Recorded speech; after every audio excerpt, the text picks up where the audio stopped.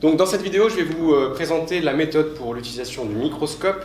Donc déjà, la première chose à faire, c'est euh, de vérifier que le microscope est branché. Et un microscope doit toujours euh, être sur la position petit objectif et platine le plus bas possible. On commence toujours par ça, à vérifier que la platine est tout en bas et qu'on est sur le petit objectif. Vous voyez qu'on peut faire tourner les objectifs avec, avec le barillet. À chaque fois qu'on a un objectif qui s'enclenche, on l'entend avec un petit clic donc voilà, on commence toujours au petit objectif. Ici, l'objectif, il est marqué 4. L'oculaire, il est 10. Donc 4 x 10, c'est le grossissement 40.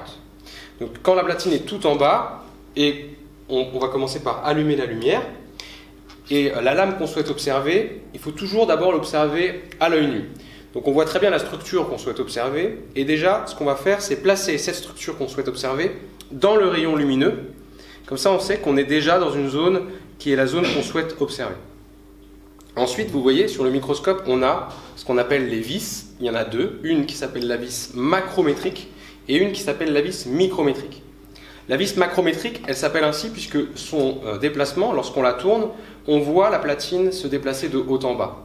Le fait qu'elle soit macrométrique, ça veut dire que le déplacement lorsqu'on tourne la vis est visible à l'œil nu.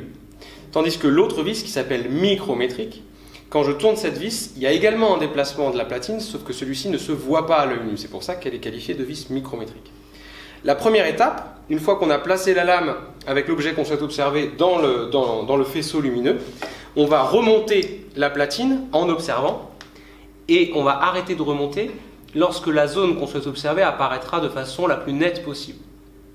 Une fois qu'on voit la zone à observer, on peut préciser la finesse euh, de la netteté grâce à la vis micrométrique.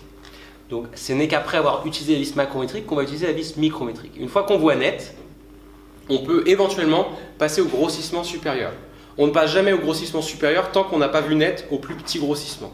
Et on passe toujours d'un grossissement à un autre en passant sur des euh, objectifs de plus en plus grands, jamais en, sautant des étapes. Euh, je vous montre juste deux autres choses. On peut régler l'intensité de la lumière donc parfois, euh, il vaut mieux réduire la lumière, parfois il faut l'augmenter, mais donc on peut régler cette intensité de la lumière. Et on peut également régler euh, le contraste à l'aide de ce qu'on appelle le diaphragme qu'on a ici, qui permet donc d'augmenter ou diminuer l'ouverture donc euh, pour la lumière.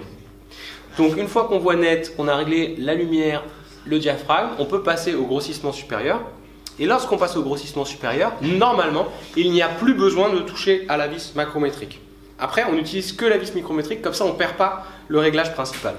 Donc là, on peut à la vis micrométrique régler la netteté, et si besoin, on peut encore passer au grossissement supérieur. Et encore une fois, plus besoin d'utiliser la vis macrométrique, on est sur la vis micrométrique et on règle la netteté. Lorsqu'on a terminé l'observation, on passe toujours sur le petit grossissement, on enclenche, on descend la platine tout en bas, on éteint le microscope et on range sa lame. Voilà pour la méthode pour utiliser un microscope.